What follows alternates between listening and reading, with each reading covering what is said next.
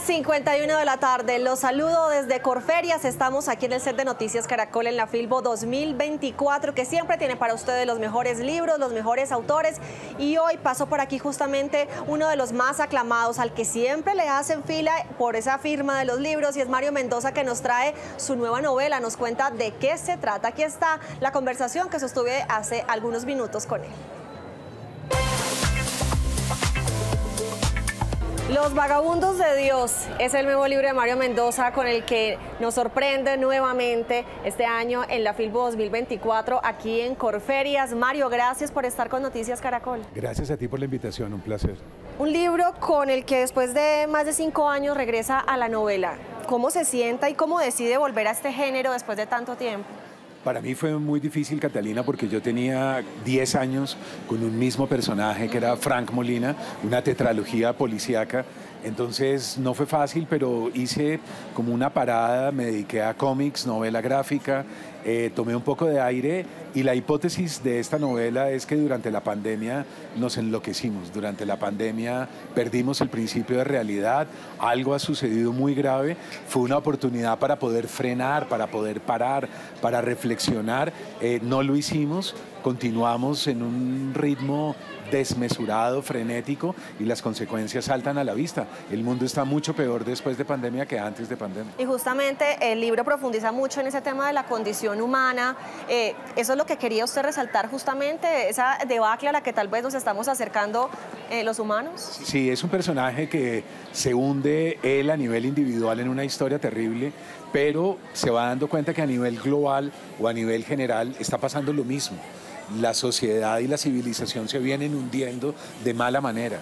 Entonces la novela es como la historia de un individuo y la historia de una cultura que van cayendo juntas en el abismo. Es ficción, pero tiene mucho de realidad. Sí, yo creo que hay, digamos, acontecimientos que podemos constatar fácilmente, las marchas del 21N, la crisis política de hace 3, 4 años, eh, y él tiene que cruzar esa sociedad convulsa que está un poco metida en el fragor de una batalla de todos contra todos eh, y se va descomponiendo porque el personaje también se va enloqueciendo en la medida en que la novela avanza.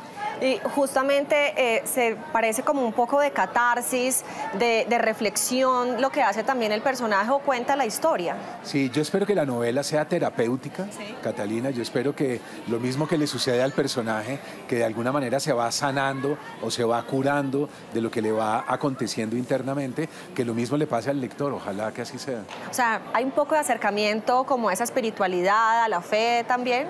Sí, es una de mis grandes preguntas siempre. Eh, hemos perdido pisos muy sólidos que teníamos antes, la política, por ejemplo.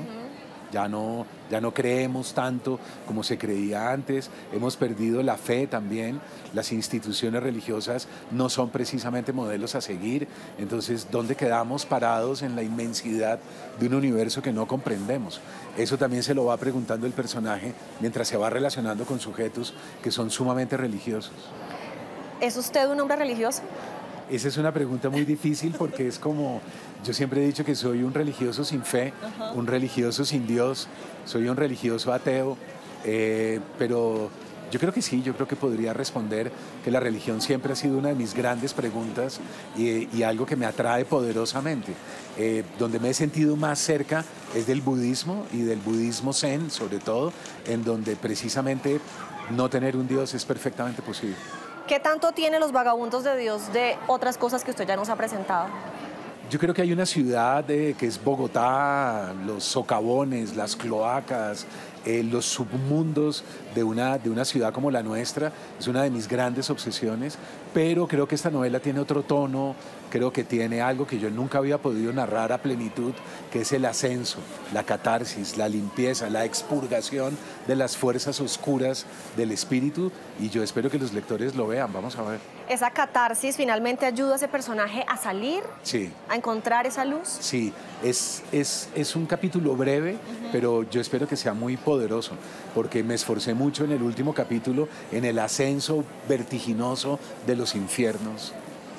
Esa contemplación del mundo en el que vivimos, eh, ¿cómo nos ayuda a reflejar un poco esa realidad que, que estamos atravesando también tan compleja? Yo creo que es una sociedad, Catalina, que se viene desmoronando Eh, estamos perdiendo cualquier principio de realidad que ya teníamos y uno lo ve en la política, uno lo ve en los líderes que estamos eh, eligiendo, uno ve como de alguna manera son seres infantilizados por las redes sociales, ¿no? Eh, no tenemos estadistas con mayúscula, tenemos seres anodinos, banales, narcisistas patológicos, enfermizos y todo el mundo global se está empezando a mover con este tipo de individuos al poder, una cosa muy peligrosa el personaje tiene que aferrarse en esa realidad o simplemente cae en ese abismo? Le queda una cosa, el arte y la literatura, que yo creo que es algo que es el último piso que tenemos. No tenemos la política, no tenemos la religión, pero tenemos todavía los museos, las bibliotecas, y esa gente no nos falla nunca esta será nuestra salvación y seguramente este espacio también será nuestra salvavidas. Mario. Exactamente, para mí las ferias del libro son focos de resistencia civil en donde venimos a pensar, a negarnos, a entrar en ese mare magnum y en esa confusión general y por eso son tan importantes. Bueno, que la resistencia siga en los libros. Mario, los vagabundos de Dios, gracias por estar aquí en Noticias Caracol. Gracias a ustedes por estar pendiente de los libros. Muchas gracias.